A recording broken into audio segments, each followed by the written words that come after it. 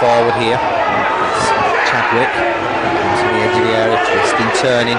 Shot coming in, it's gone through Matt Edwards and Jay O'Shea has given the MK Dons an early lead here at Spotland.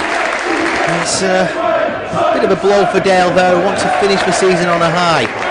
Thompson picking up on a bit of a stray passer in the area. That's a, a good save from the MK Dons goalkeeper.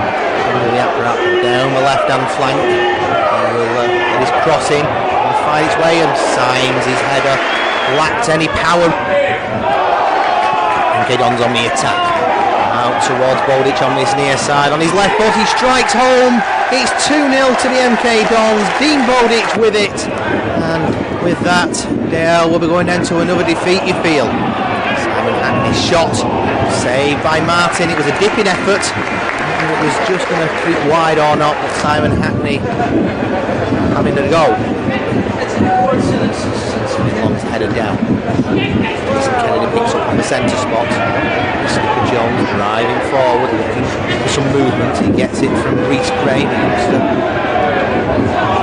On the left hand side, Gary Jones will pull it back. It's into the area, and Jean-Louis Akpro he hits it into the side netting from an acute angle.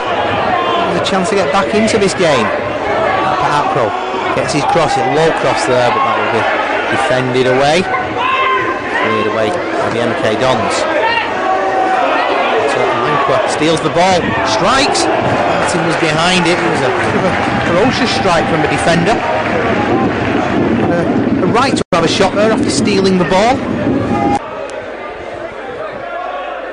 Quick free kick for Dale. Adams short to Jones. Jones to Darby to Adams. Adams just cuts in field. Pressing forward. Gonna dink it towards the back post.